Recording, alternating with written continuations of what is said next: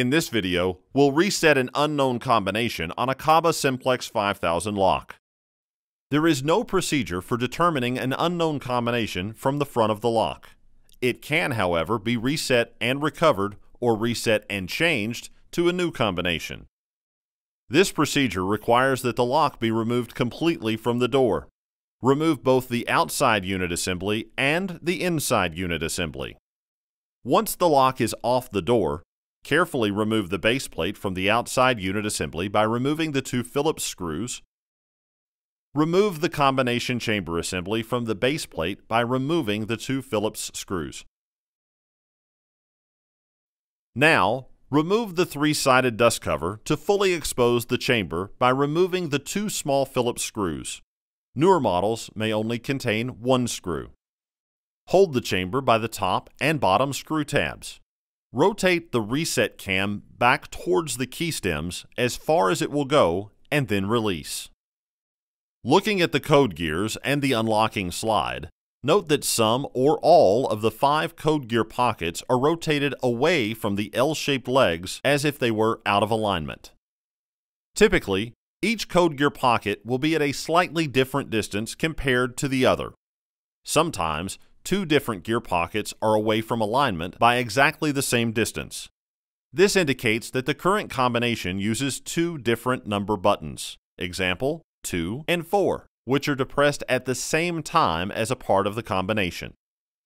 Using a small flat blade screwdriver, depress the key stem or stems that correspond to the gear pockets which has been rotated to the farthest away and is out of alignment from the L-shaped leg.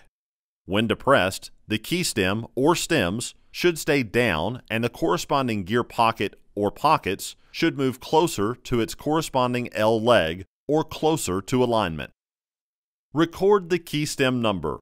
This is the first number of the combination. Continue by pressing the key stem that corresponds to the gear pocket that is the next furthest away.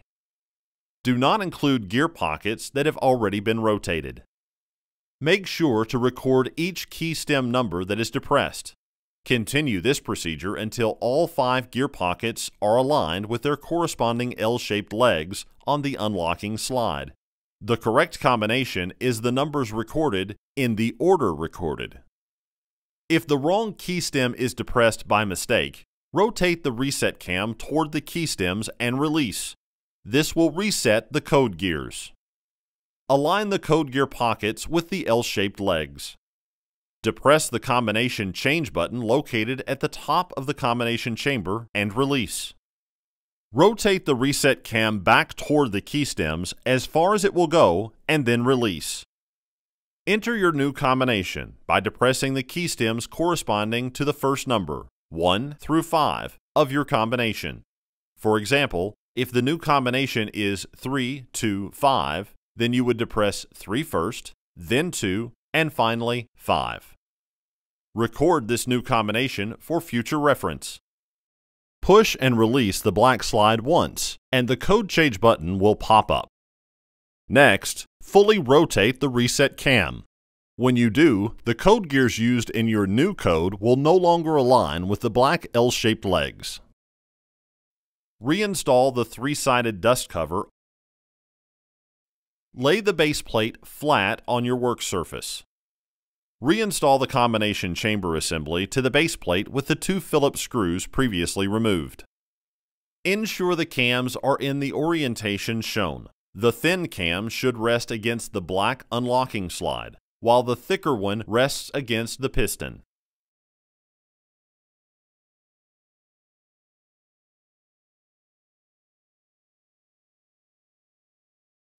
Place the outside lock assembly on the base plate.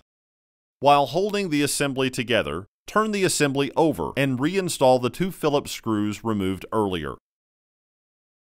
Reinstall the lock on the door.